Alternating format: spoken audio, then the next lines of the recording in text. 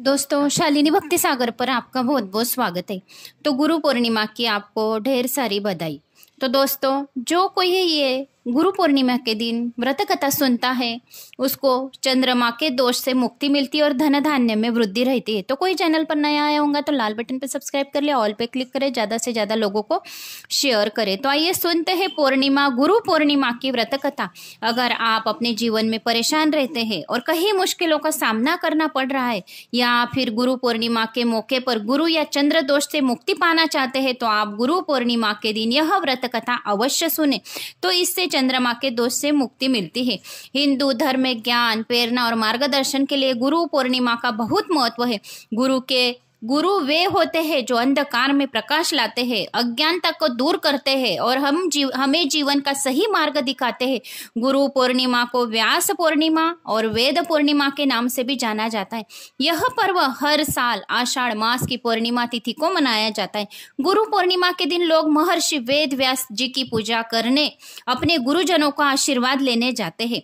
तो गुरु मंत्र कौन सा है? गुरु मंत्र भी श्रवण किया तो भी हमें गुरु के, गुरु बल यानी आशीर्वाद, गुरु का आशीर्वाद हमें प्राप्त होता है। तो कौन सा मंत्र है? गुरु ब्रह्मा, गुरु विष्णु, गुरु देवो, महेश्वरा, गुरु साक्षात पर ब्रह्म तस्मेन श्री गुरुवे नमा। इस मंत्र का श्रवण, पठन करने मात्र से हमें गुरु का आशीर्वाद प्राप्त होता है। इस श्लोक के अनुसार गुरु को ब्रह्मा, विष्णु, महेश के बराबर माना जाता है और उन्हीं की पूजा, अर्चना और आराधना करने के लिए गुरु पूर्णिमा का पावन पर्व मनाया जाता है। गुरु पूर्णिमा पर चंद्रमा की पूजा का भी विशेष महत्व होता है। चंद्रोदय होने के बाद चंद्रमा की पूजा की जाती है और चंद्रमा को अर्घ देने से चंद्रदोष से मुक्ति मिलती है और गुरु पूर्णिमा हो या हर पूर्णिमा के दिन खीर का प्रसाद माँ लक्ष्मी जी को भोग दिया जाता है और चंद्र देवता तो चंद्र देवका देवता को तो आर्थिक परिस्थिति हमारी अच्छी होती तो पंचांग के अनुसार आषाढ़ मास के शुक्ल पक्ष की पूर्णिमा तिथि बीस जुलाई दिन शनिवार को पाँच बजकर उनसाठ मिनट से शुरू हो, हो गई है और इक्कीस जुलाई दिन रविवार के तीन बजकर छियालीस चालीस मिनट पर खत्म होने वाली। जिस तिथि में सूर्योदय होता है वह तिथि उस दिन मान्य होती है। आषाढ़ पूर्णिमा की तिथि में सूर्योदय 21 जुलाई को सुबह पाँच बजकर छत्तीस मिनट पर होगा। ऐसे में गुरु पूर्णिमा 21 जुलाई रविवार को ही मनाई जाएगी। गुरु पूर्णिमा को सही तारीख 21 जुलाई ही है। यदि आप भी गुरु पूर्णिमा के दिन व्रत रखकर अपने गुरुजनों का आशीर्वाद पाना चाहते हैं, चंद्रमा के दोष से मुक्ति पाना चाहते हैं तो यहाँ आप गुरु पूर्णिमा की कथा सुनकर आप अपने जीवन का लक्ष्य पा सकते हैं, गुरु का आशीर्वाद ले सकते हैं। तो आइए श्रवण करते हैं गुरु पूर्णिमा की व्रत कथा।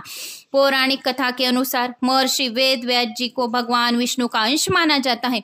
वेद व्यास जी की माता का नाम सत्यवती और पिता का नाम ऋषि पराशरता। महर्षि वेद व्यास जी को बचपन से ही अध्यात्म में बहुत रुचि थी। एक बार उन्होंने अपने माता पिता से प्रभु के दर्शन करने की इच्छा प्रकट की और वन में तपस्या करने की अनुमति मांगी। वेद व्यास जी की इस बात को सुनकर उनकी माता ने उन्हें वन जाने को मना कर दिया था।